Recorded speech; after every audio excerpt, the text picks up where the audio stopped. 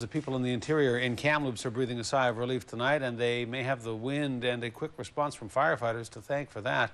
A shift in wind direction has helped the crews get the upper hand on a fast growing wildfire that threatened their homes and forced a hasty evacuation in the middle of the night.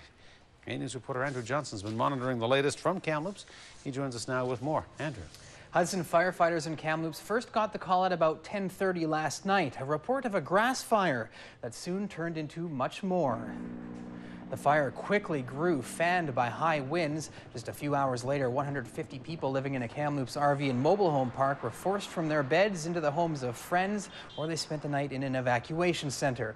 Air tankers then arrived to drop fire retardant at first light, joined in the air by four helicopters. Meantime, 43 firefighters from the BC Forest Service and from Kamloops went to work on the ground.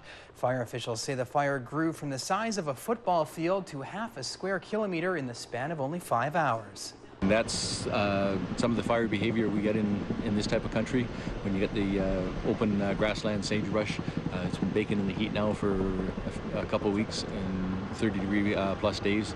And it's with our wet spring, all that uh, nice green grass that we had in the spring is now drying out. The big turning point in the firefighting effort came later this morning. A shift in wind direction. It began gusting from the southwest, blowing the fire back in on itself. The evacuees, unsure of what would become of their homes and possessions only hours earlier, were allowed to return. But Hudson, the evacuees and other people living in hundreds of homes nearby remain on evacuation alert. The latest word from the BC Forest Service is the fire burning just east of Kamloops is now 80% contained. Close call. Mm -hmm. Andrew, thank you. You're welcome.